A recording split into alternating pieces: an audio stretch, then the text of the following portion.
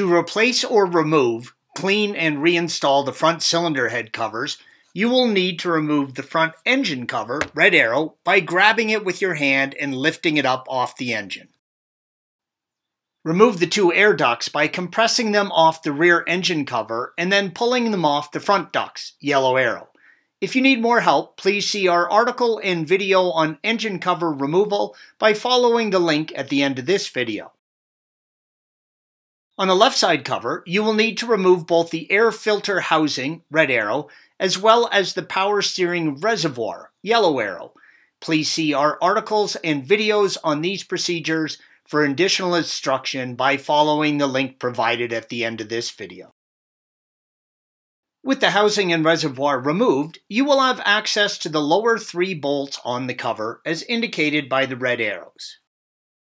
On the right side cover, begin by removing the air switchover valve, red arrow, off its mount. Disconnect the wiring harness and let it hang off to the side.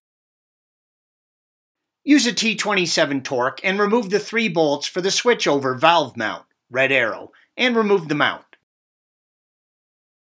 Remove the hoses for the check valves and use a T30 Torx and remove the three bolts holding the air pump in place indicated by the red arrow.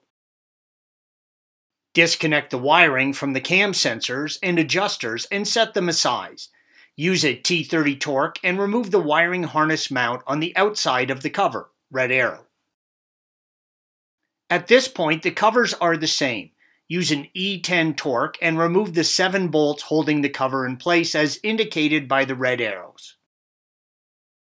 There are two places that you can use to gently pry apart the cover from the head and the valve cover, shown by the red arrows.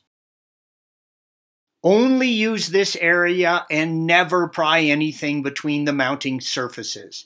There is a sealant between the cover, so it can take a little force to separate them. Once the sealant lets go, make sure to have a hand on the cover. You do not want it to drop and damage these. They are very, very expensive to replace. Carefully clean the mounting surface of the cover. Do not use anything metal on the surface or anything that could scratch or gouge the metal. The mounting surface needs to be extremely clean for a proper seal. Again, carefully clean around the mounting surface of both the tower and the valve cover using care in the area where the valve cover meets the tower, red arrows. Again, don't use anything on the surface that could scratch or gouge the metal. The mounting surface needs to be extremely clean or you will do it again because you won't get a proper seal.